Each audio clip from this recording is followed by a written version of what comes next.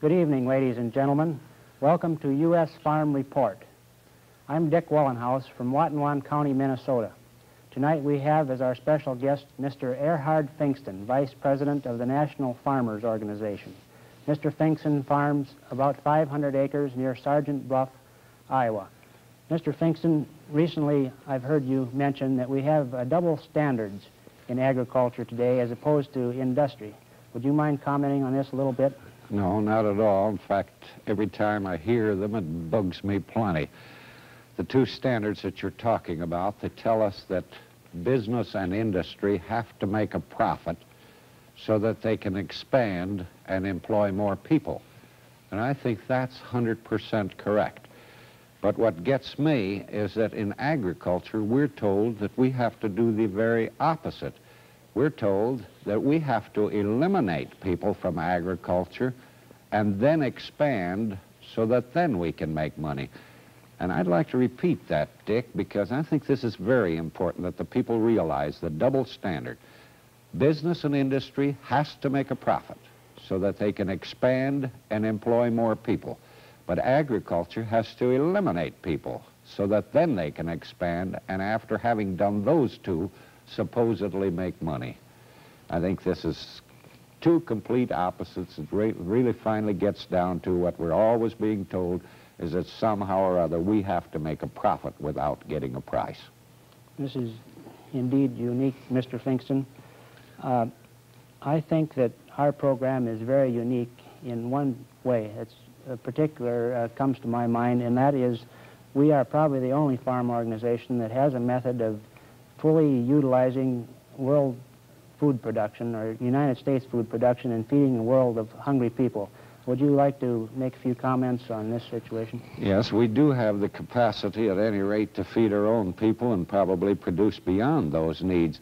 And actually, the way we're doing it now, we're depriving other nations of the world food by retiring our own resources here and have become dependent on other nations to supply what we're not producing here.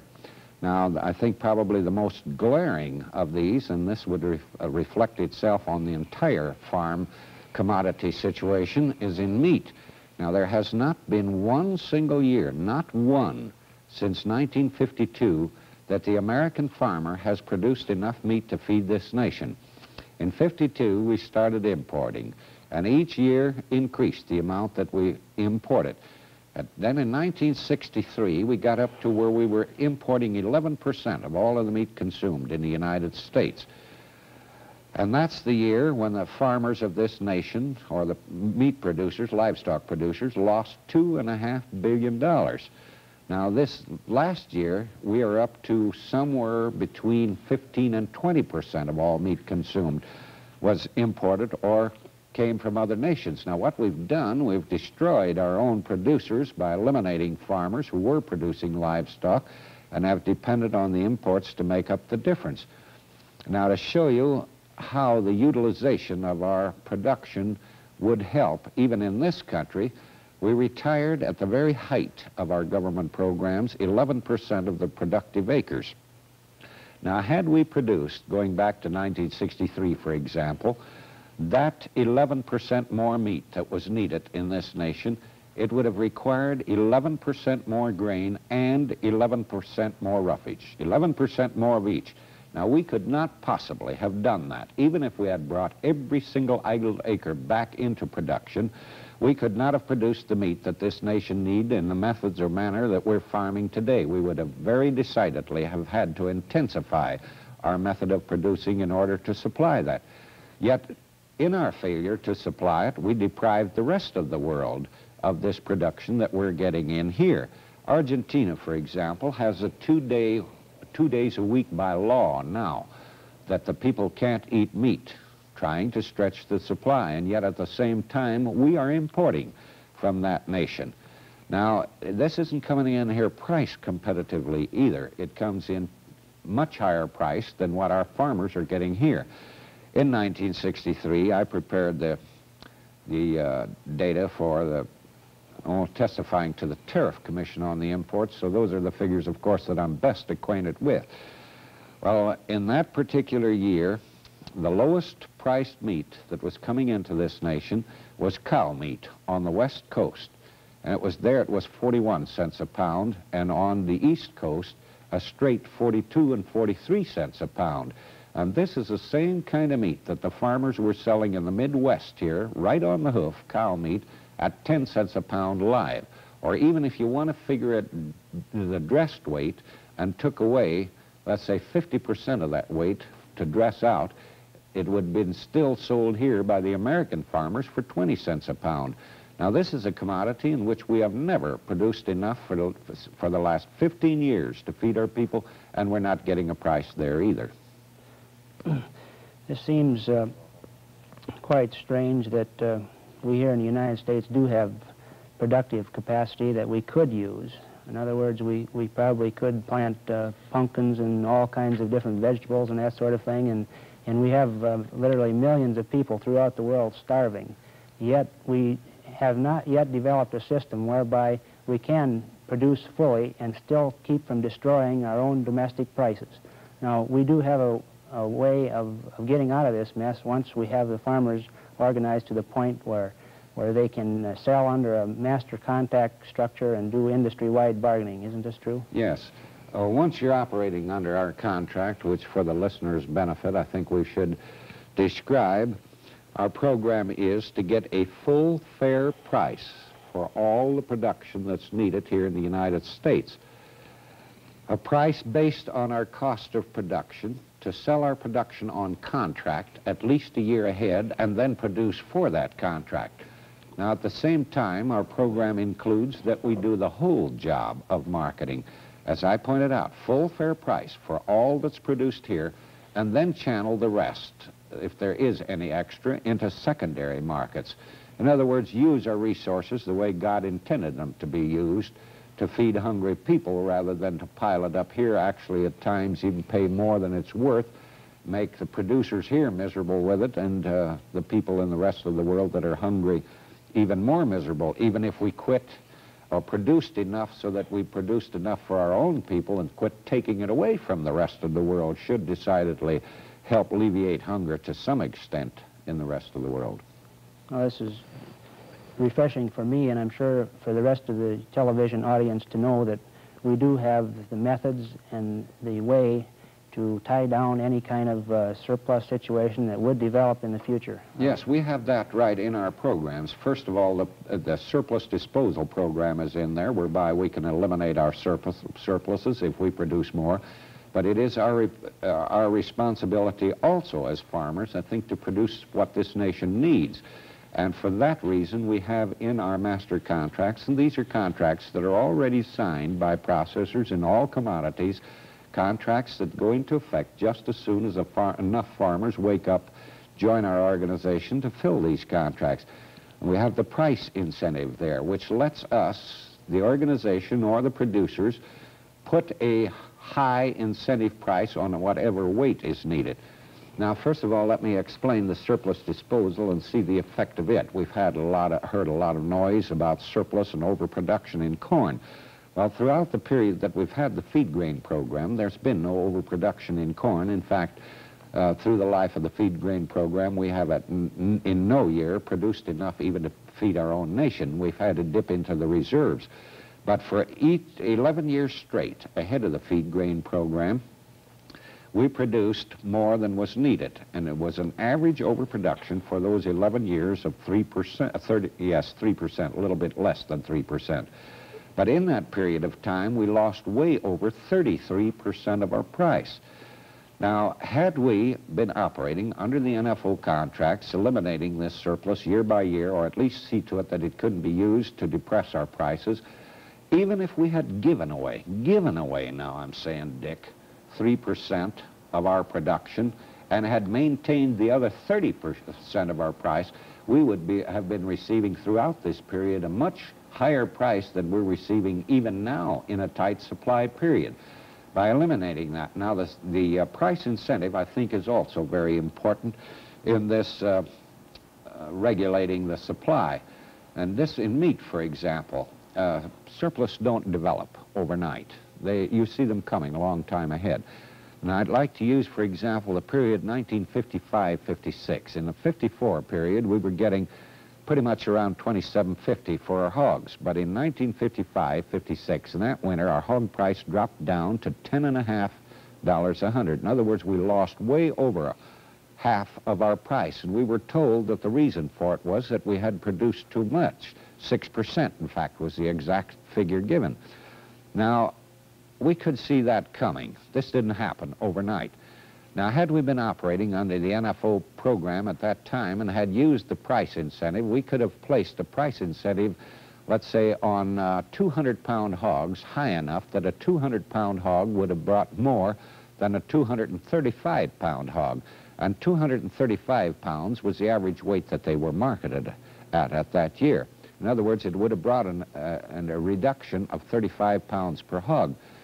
Now let's do a little figuring and see what the percentage of reduction would mean in that area. On the basis of 200-pound hogs, each two pounds would be 1% of the total supply. So to arrive at the percentage difference, divide the 35 by, uh, by 2, and it would give you 17.5% difference in supply. Now take the 6% surplus that they said that we had in that period, Take that off of that 17.5% and what you would you have had? You'd have had an, a shortage, a shortage of 11.5% with exactly the same number of hogs.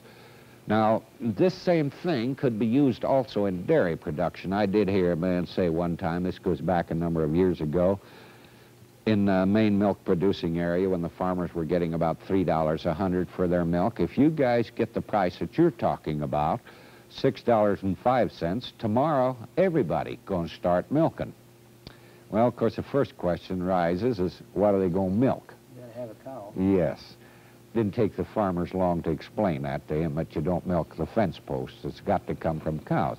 Now, it takes three years to develop a cow from the inception of the calf till you have it in production, or very nearly three years. So you would see any surplus arising there, too. Now, we could use the same incentive plan here that I talked about, and this is already in the contract signed by processors, where we could put an incentive price on dairy heifer calves, for instance, say high enough that it'd take them into market, turn them into hamburger. Well, hamburgers don't give any milk, either now or three years from now. So all of these are things that you can do as an organized group, but there's absolutely nothing that you can do as an individual. Well, really, we could say, uh, Mr. Pfingsten, that that uh, once the master contract is activated, uh, these contracts actually solve the problem that exists within that industry, don't they? As far as promoting the product uh, the, when it needs promoting, or as far as yes. disposing of a surplus. Yes. In other words, the contract creates the price, That's and then right. you use the price once it's been created to solve the rest of the problems that may exist. Yes. Uh, even to the extent of promoting the product, see, as is provided in all of the contracts, dairy, grain, and meat, that one half of 1% has to be used to promote that particular product that that contract represents. In other words, you can give them the kind of uh, advertising that really sells the product and not just sells a brand. And I think very often we're getting hurt with brand advertising where, well, let's say in tobacco, for instance, you'll see ads that uh, make you think that if you smoke any other kind of cigarette but that one, you're uh, really going to get it.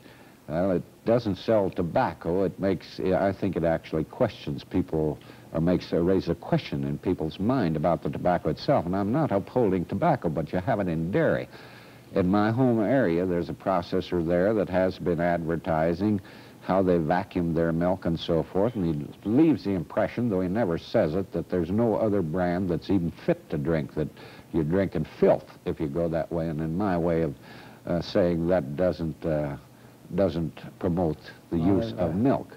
His brand only, he's selling the rest of the milk down in, the river. Uh, in relation to that, sometimes you see uh, commercials, uh, read commercials, where, yes. where, where they say that there's animal fat in this uh, particular type of uh, shortening, just as if this and was a bad thing. Yes, if that were a bad thing yeah. altogether, yes. -huh. Now, this is, it's not what they say, but it's the implied How they say destruction of the product. Well, in your opinion, really what good does it do for a group of farmers in a small area or a group of farmers just in one particular commodity to have a system whereby they, they promote that one commodity. Is there any long-range uh, beneficial effect from doing that type of thing? No, uh, no, I think to get nowhere, uh, you're, you're really covering two uh, areas there. First of all, the local and then the single commodity. This problem is not a single commodity problem in agriculture. It's all commodities are involved. And in addition to that, uh, it is, cannot be solved in a local area because it's on a national basis. So it's going to take an organization that deals in all commodity and first of all is able to deal nationwide. The reason we're in the price hole that we're in is because our marketing, present marketing system is completely outdated. We're selling now to national corporations. Our buyers are national in scope. They're able to bypass any area, any individual, or any market and actually pit one against the other and make them cut each other's throat. So supply and demand cannot work to set a fair price in that way because the bargaining power is so much different. For To give a few examples to show how big this is, the chain stores are now handling 85% of all the meat consumed in the United States, and about five chains are handling about half of all the meat that's retailed. That's what I should have said instead of consumed, the meat that's retailed. And uh, here you have a position, see, where five buyers can establish the price on all of it. Now, in milk, according to Dr. Jacobson of the University of Ohio, who's a marketing specialist, 70% of all dairy production goes through basically four big users.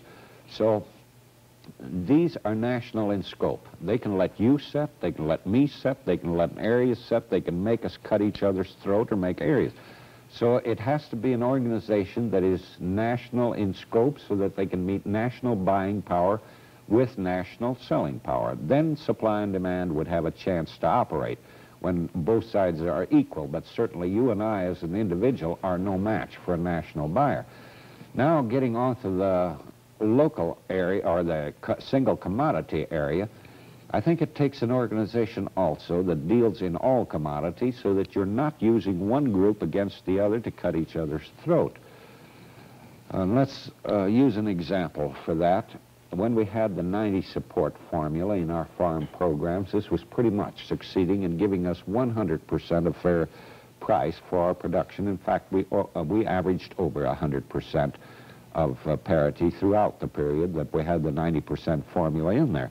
Well, as cattle prices dipped, uh, the cattle feeders and then the milk price in the northeastern part of the nation dipped at the same time.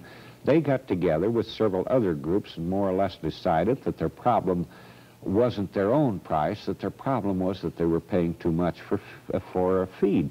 So they reasoned if they could bring the feed price down, you see, that this would solve their problem. And so through lobbying, through force that uh, followed, that they collected, they managed to destroy the 90% formula in the farm program and gave us the sliding scale.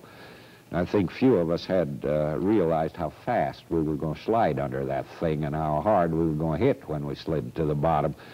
But this is what substituted then till we got the feed producers into trouble.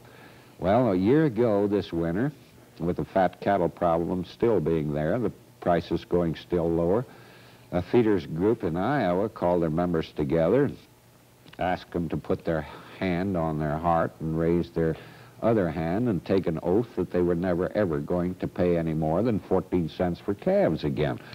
So here you see the group, rather than solving their own problem, was again now moving. They had the feed grain boys down on their prayer bones, so now we're going to work on the people that produce the calves and uh, take it out on them. So I think it takes an organization that deals in all commodities and brings them all up in relative balance for the reason I just related, and then also to keep from shifting out of one commodity into the other. If you brought the price of one commodity up, did nothing with the rest, then I think there'd be a gradual shift to that commodity, everybody trying to make it there, and they'd probably destroy it too.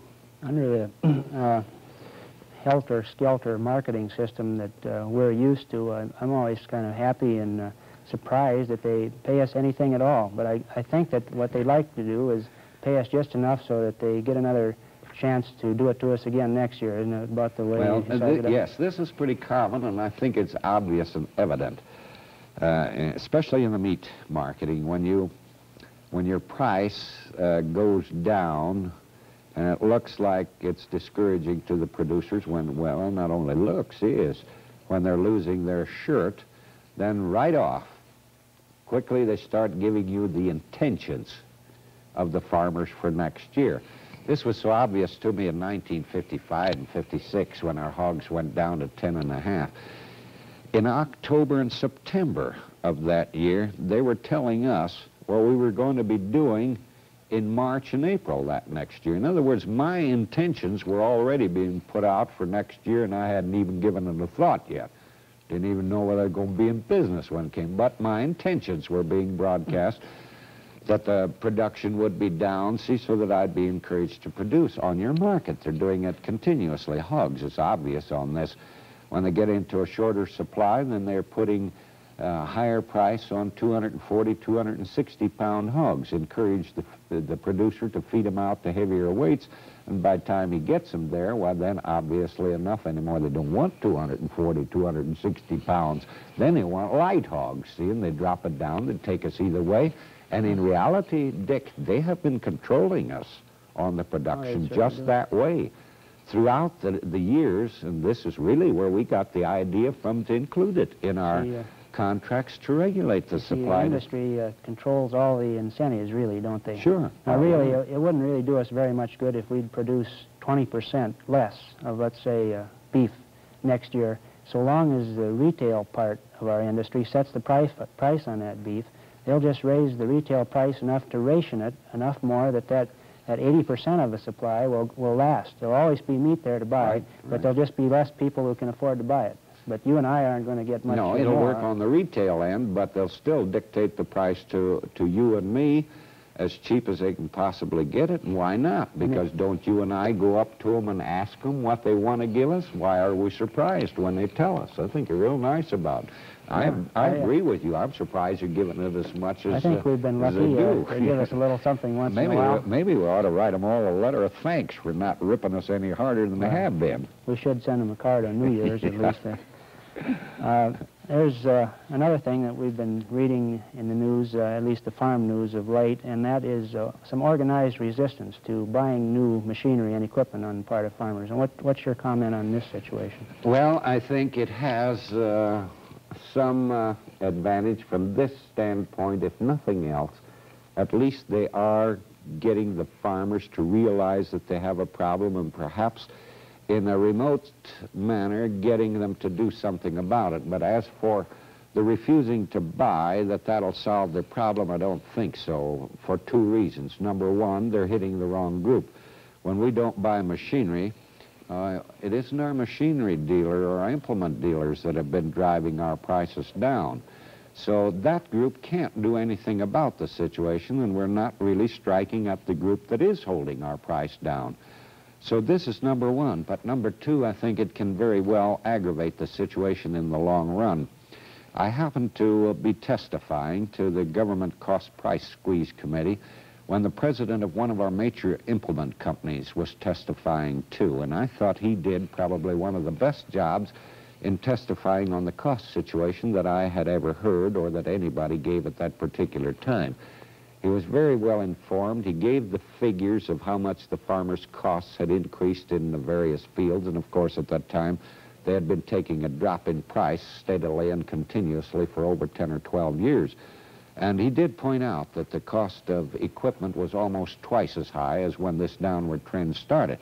And of course, the point that he was making was that the farmers were going to have to get themselves a price just exactly the way that other industry does, a price based on their cost of production.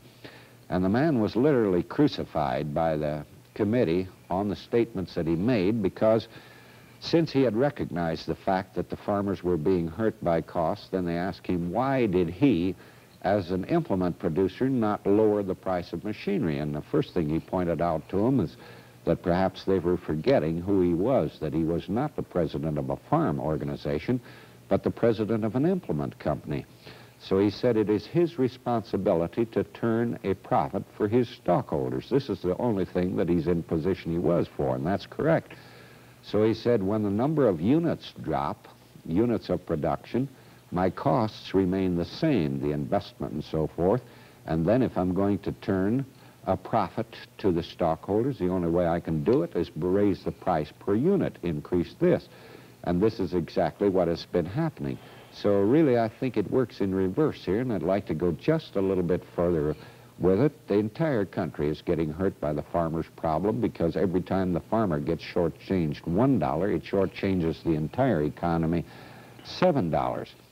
Now, I was speaking one time in, in 1964, this was, in Atlantic, Iowa, where the editor of the newspaper handed me a clipping of, uh, oh, one of these 10 years ago today, 20 years ago today, and 50 years ago today. And the item in the 10 years ago today was uh, that some farmer in the Atlantic, Iowa, and he mentioned his name, had received or had topped the Omaha market with $27.50 in 1954, and this was a general price throughout that time. Of course, keep in mind that also during that period of time, all other prices were up there pretty fair shape. We were getting, I suppose, about $1.60 for corn, two and a quarter for wheat, uh, 285 for soybeans and so forth. So we looked it up to see just what impact that had on how much farmers bought. And of course, the first thing that a farmer thinks about when he's talking about the things he buys, usually a tractor. So we looked this up in the farm statistics, and we compared 1954 with 1963, which was the last complete year we had in the figures. And in 1954, when the farmers were getting a fair price for their production, the tractor manufacturers of this nation sold uh, 353,000 farm tractors. And yet in 63, at the lower prices, they had sold 172,000. So this was 181,000 less tractors that those they produced because the farmers weren't getting paid. And this, the dealers over the country didn't sell them. The working men nationwide didn't make these, see, so it hurts the whole industry. So I believe the approach of stopping to buying isn't going to solve the situation. No, it, uh, it's you got to hit the people who are driving your prices down. Those are the guys that you got to get. Just like General Motors does. They su- set their price, they supply their dealers. If the dealer refuses to pay the price, he's no longer a dealer. He don't get any cars. And this is what we got to do. Well, I'm very certain that uh, according to the progress that we've been making recently and uh, the overall feeling in agriculture, farmers are willing to accept the NFO plan for collective bargaining. Uh, we just have maybe about a minute left. Would you like to make a closing uh, remark or two, Mr. Pfingsten? Well, I think this is the only thing that's going to reverse the trend if the farmers themselves do it.